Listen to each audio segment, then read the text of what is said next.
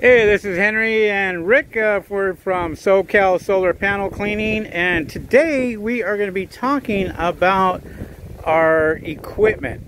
And um, Rick's going to kind of explain to you uh, the difference between the brushes and what you should have and so forth. So fire it up, Rick.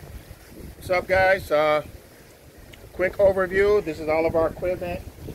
Pressure hose and the gun. This is our brush. It's a water fed.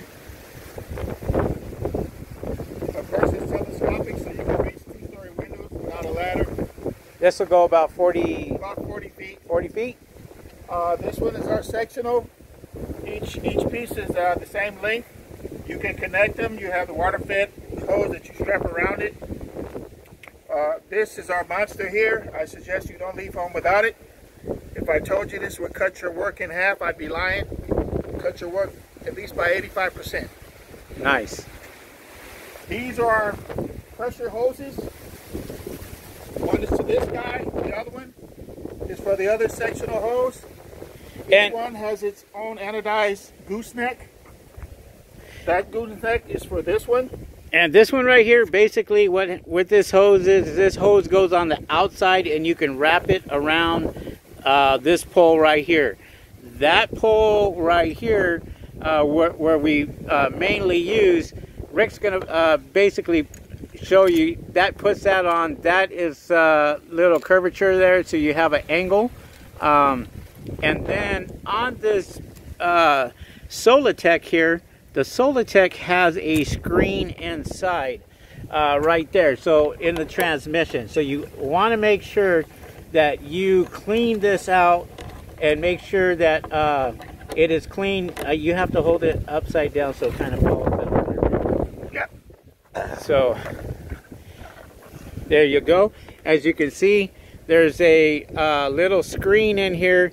You want to make sure that this screen is clean uh, at all times. The water shoots out of here itself. And so uh, this is really the only maintenance that you have to do with this bad boy right here. It kind of does everything uh, itself. Uh, obviously, these uh, come off. These are the end caps. They come off, and then you have the brush here. And this brush right here uh, pretty much takes the whole um, the whole uh, solar panel, cleans the whole solar panel at once. We also have this uh, little guy right here. We call them the twins, and this one right here uh, will do the same job. It, it, it circular, rotates around, cleans it. Water comes out of here, uh, shoots out of these uh, hoses here through the jets, and uh, this hooks up to uh, something similar to this. And uh, high pressure, you got to have high pressure for this, and uh, that uh, is also a good good product to have. We use these for like the edges, the corners, and what have you when we have the really really big jobs. And uh, keep in mind, this hose right here, you want to have an extra hose just in case something happens to this one. You always have to have an extra one. And what does this do, Rick? This is our lever. It turns the pressure off and on. So if you're up on the roof and you don't want the power, uh, pressure, turn the nozzle one way, shuts it off, turn it back on, you got your pressure. And this one, you don't have to keep going. Saves trips back and forth to the truck. Yeah, you don't have to come back here and, and shut the engine off or what have you. So, um, if you want to take this, Rick, real quick, let me show them this real quick. One last Oh, thing. One last thing.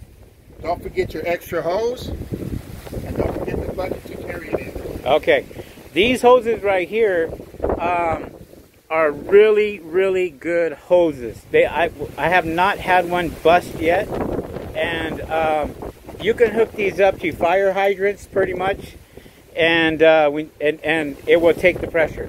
They're, they're awesome. All right. So Oh, oh, oh.